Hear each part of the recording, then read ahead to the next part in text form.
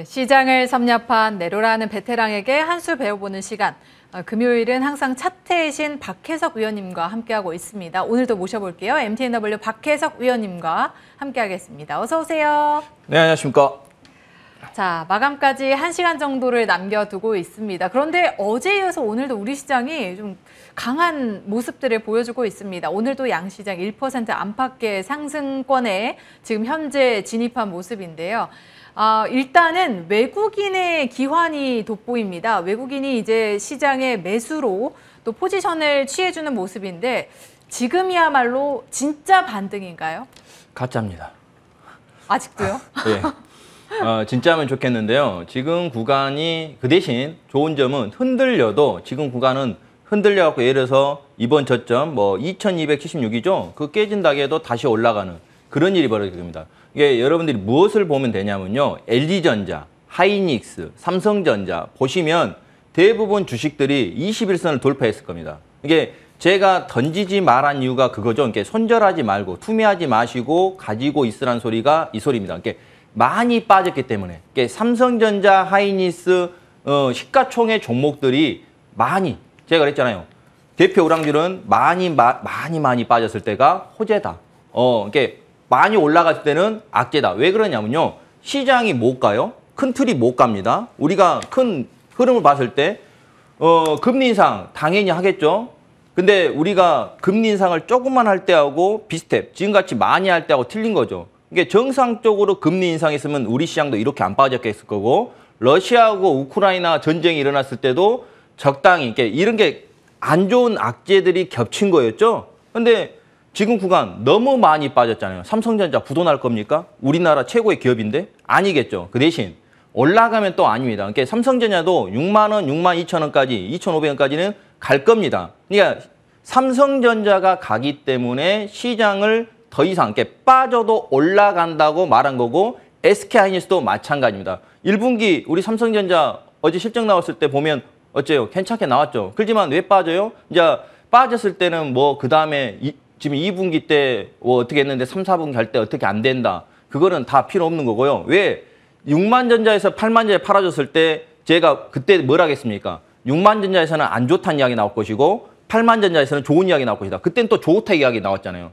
그러니까 지금 구간에서 마찬가지입니다. 시장이 급락한 자체가 좋은 거. 그 대신 올라가면 다 가짜입니다. 그러니까 제가 작년부터 계속 이야기한 게 저는 저점 매수, 주식한 사람들이 많기 때문에 저점 매수 위에서는 팔아.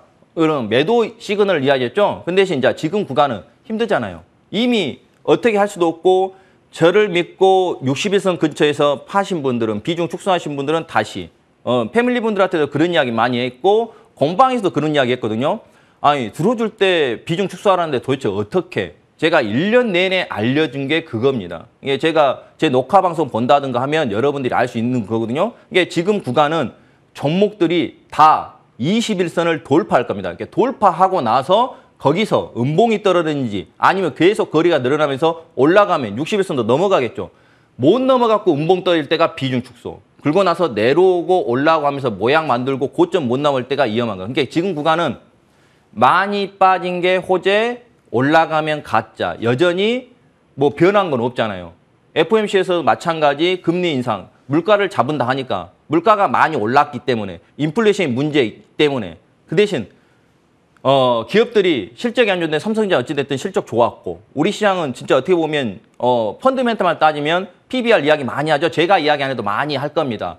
1.0 이하 저평가예요. 근데 이게 2,600에도 저평가, 2,500에도 저평가입니다. 근데 저평가다고 우리가 마음대로 사는 게 아니잖아요. 우리 개인분들은 뭉치면 돈이 많지만 개인 각각에는 돈이 없을 겁니다. 왜?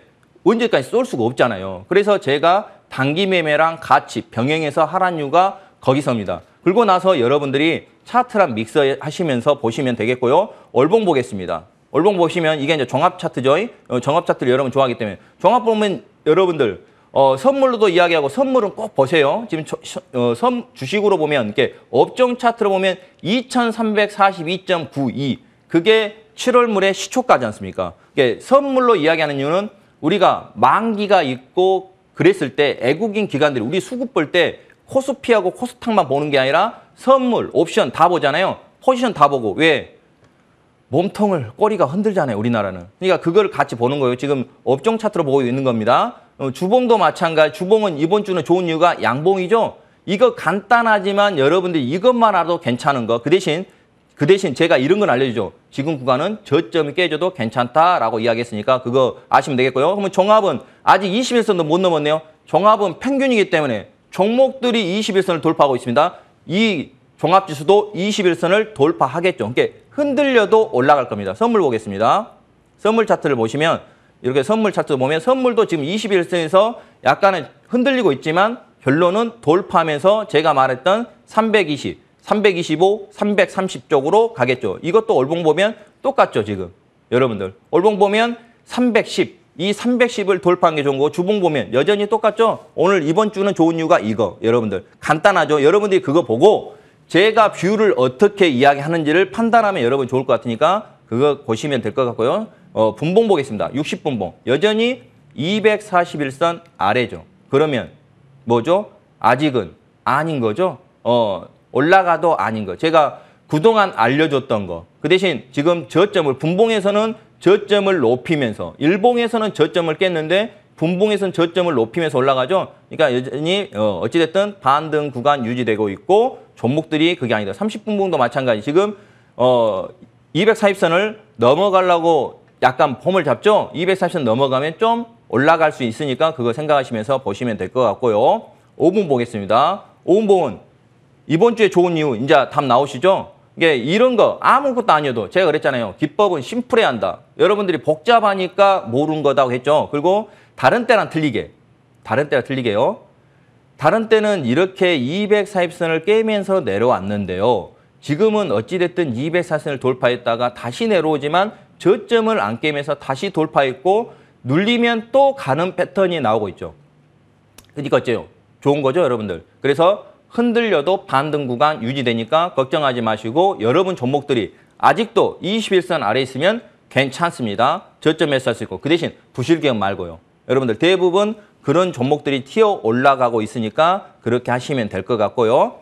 그리고 나서 이제 여러분들 시장을 너무 부정적으로 보지 마시고요. 우리가 보면 AI 어저께 보면 뭐 현대차하고 뭐 AI 부분 어 로봇 관련주도 막 올라가고 여러분들 그리고 신재생 에너지 갑자기 급락했지만 왜 그러냐면 여러분들 유가가 급락했 유가는 크게 보면 박스입니다. 이게 박스인데 저점이 깨져야만이 더 빠지는 겁니다. 이게 아직은 살아 있는 거죠. 그 유가 240선 살아 있죠. 그 대신 고점도 못 넘어가고 있죠. 그러면 가두리 상태에 있죠.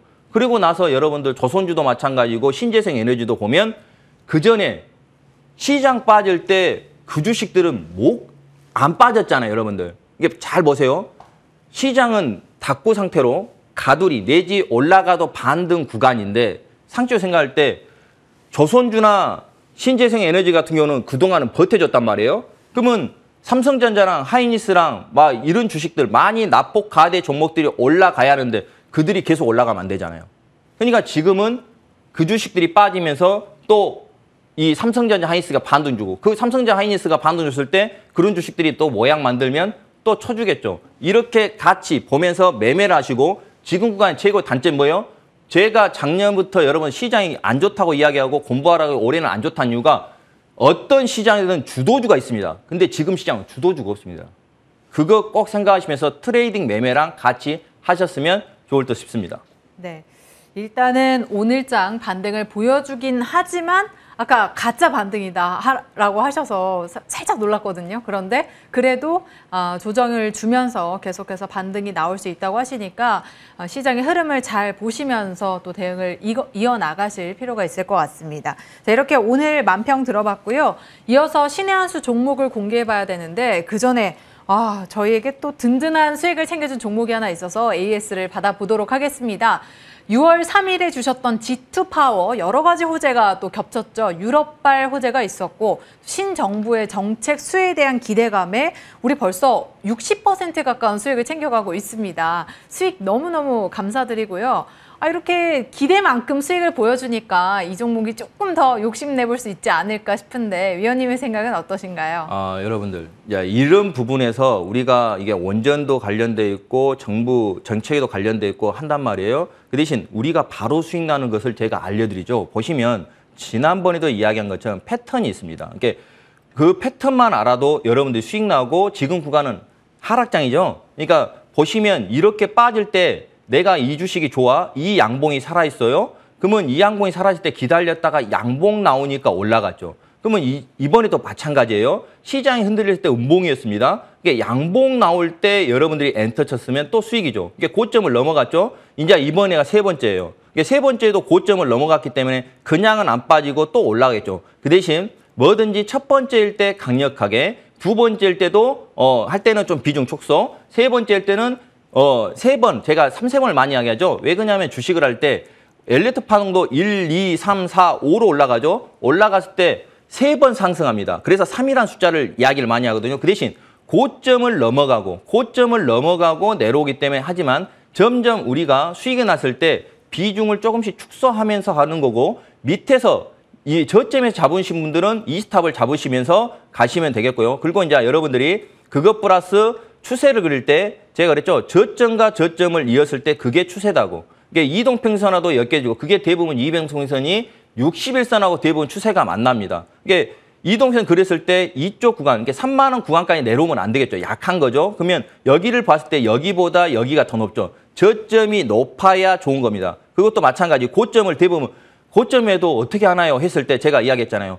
모르겠으면 처음에는 여기가 없다면 고점과 고점을 이어보세요. 이어보시면 그 구간이 여러분들이 저항인지를 느낍니다. 그러니까 그쪽으로 왔을 때 우리가 비중을 축소하는 겁니다. 그러니까 많이 파는 게 아니라 그러니까 다 파는 게 아니라 H축으로 아, 이 정도 오면 저항 구간이겠구나 생각하고 저, 이 정도에서는 조금씩 파는 겁니다. 그리고 나머지는 또 비중 축소하고 제가 알려준 대로 작년부터 알려줬던 이 스탑을 기능을 잡으면 좋겠죠? 그런 매매랑 같이 하면 우리가 고점에서도 팔고 다시 저점에서 잡을 수 있으니까 그거 하면서 있는 분들 계속 지금 시장에 안 좋아도 좋기 때문에 추세 깨질 때까지 홀딩하면서 매매랑 같이 섞어서 하시면 좋을 것 같습니다. 네, 일단은 홀딩 사인 주셨습니다. 저희 조금 더 지켜보면서 어, 추가적인 수익 챙겨보도록 할게요.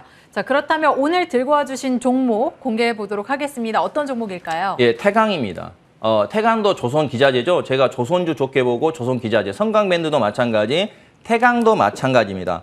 산업용 배관 자재 제조 업체거든요. 이거 마찬가지 수주도 많이 하고 실적도 되고요. 유보율도 높고요. 기업 자체가 튼튼합니다. 이게 이거 조선 기자재도 마찬가지 최근에 말했던 어 7월 6일 날 갑자기 음봉 떨어졌지만 안 깨지죠. 그러면 이거 다기, 다시 어 괜찮다는 거죠. 그리고 이 주식이 높게 있으면 제가 이런 말 안 합니다. 낮게 있습니다. 이치가 낮습니다. 낮게 있기 때문에 여러분들이 손절만 잡고 잘하시면 될 것 같으니까요.